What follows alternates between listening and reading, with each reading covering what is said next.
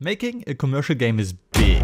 There are thousands of great games out there, so mine has to be really good to stand out and make people actually pay real money for it. In the last couple of years, I made a ton of games, so I think I'm finally capable of creating something huge. Last year, I made this game together with Ben Bonk for the Brackeys Game Jam. If you don't know this game, you should definitely watch my devlog first. You just have to click on this little eye there. I asked Ben if he wants to continue working on the game with me, but he's too busy with his own game called Slime Keeper, so I'm all by myself. Divided Dungeon is about multiple characters with different abilities escaping a dungeon. To do so, they have to support each other. This sounds like a fun little multiplayer, but it's not. You control each character at a time, rewind, and then choose the next one.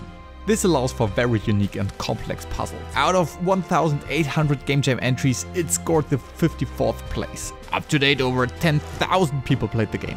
It received an overwhelming amount of positive feedback, and it got even showcased by Brackeys, the man himself, as one of the best games of his jam. But we also got a lot of suggestions on how to make this game better. In this devlog I want to fix all the problems of the Game Jam version to have a neat prototype. Let's go. Brackeys, the man, the legend himself and a few other people criticized the controls. The only thing I would do to make the game even better is change the movement to be more precise in order to more easily maneuver around your teammates. It didn't feel precise and uh, not really nice in general. The problem was that the velocity is changed immediately. This feels very stiff and not natural. Plus, no good platformer has this type of control anyway. To fix it, I added a damping function and now the character accelerates and decelerates when you're moving. This surprisingly enough makes it feel like you have more control. The reason is that you can move in very small steps now, when you just tap in one direction. And turning is also more precise, since it doesn't happen immediately. The next thing mentioned by a lot of people is that they don't like that you can mess up your previous characters so easily and that your characters don't jump as high as before once you stand on top of them. This complaint is a tough one. Quite a few people thought that this is a bug, but it's actually a design choice. In my opinion, it's way cooler when you can interact with your previous characters and change their path. And this allows for some very unique and cool levels. Also, do you guys really think that this character would jump as high if a freaking dwarf is standing on top of him? I couldn't. But you should always listen to the people playing the game, since you want to give them the best experience possible. In this case, though, there was only one solution to this problem. Nah, just kidding. To be honest, this problem bothered me as well when I uploaded the game. I just had no idea how to fix this. But when I thought about massive dwarfs, I found the solution. You can increase the mass of previous characters. This way you can still interact with them and change their path, but it's way more difficult to accidentally mess them up. And yes, uh, they can also jump higher now when you stand on top of them. Ding, ding, ding, ding, ding, ding. And now to the last problem. The game is difficult and it can be very frustrating when you have to delete all the progress from the previous characters when you made a small mistake with the first one.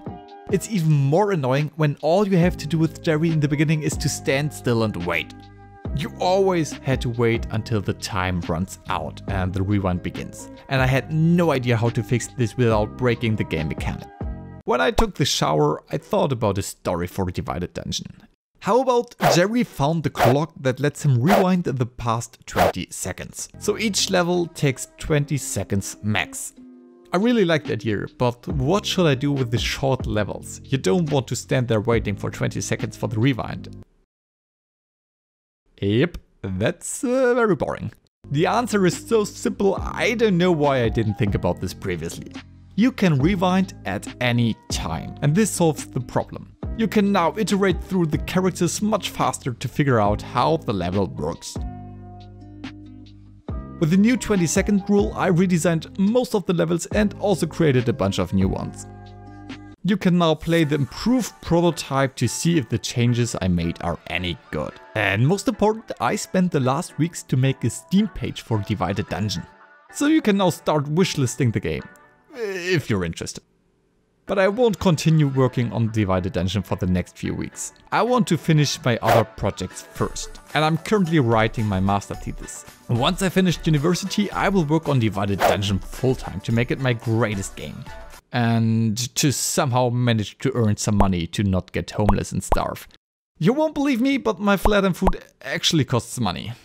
For now, you can of course donate me some likes and subscriptions, uh, the only currency real YouTubers need.